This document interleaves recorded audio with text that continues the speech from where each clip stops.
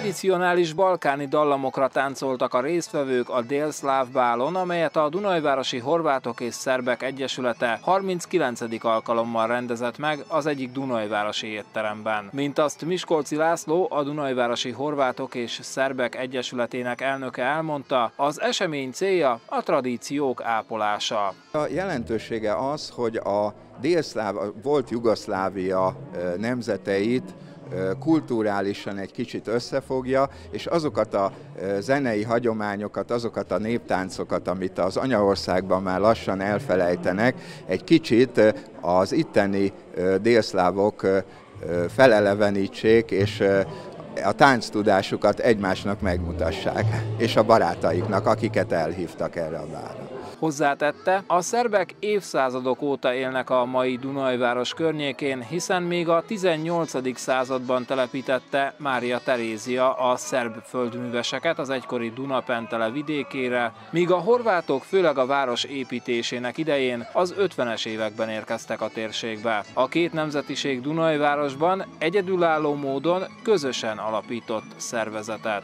Mi voltunk valamikor az egyetlen olyan egyesület, akik a háborús idők után megtartottuk az egyesületünket közösen, Horvátok és Szervek Egyesülete. Úgy tudom, egyedüliek vagyunk az országban.